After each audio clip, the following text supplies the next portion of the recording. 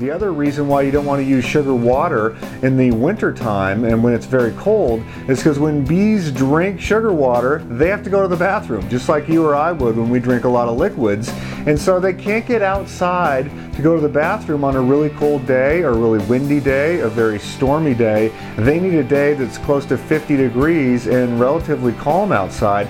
That's not going to come along very often in a lot of winter climates. So you want to avoid sugar water and this fondant is a consumable sugar that the bees can use and you can set it right on top of where they are. They're going to eat it and be very happy and just give your bees a chance, an additional chance to make it into the summer season.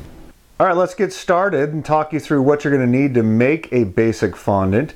You're going to need some regular granulated white sugar. I just bought the five pound bag. You're going to need some Karo uh, corn syrup, the light corn syrup. Don't get the dark one, that has molasses in it and bees cannot digest molasses. You're going to need some uh, good old H2O, some water. You're going to need a scale to measure everything out. A instant read thermometer or a candy thermometer is very important.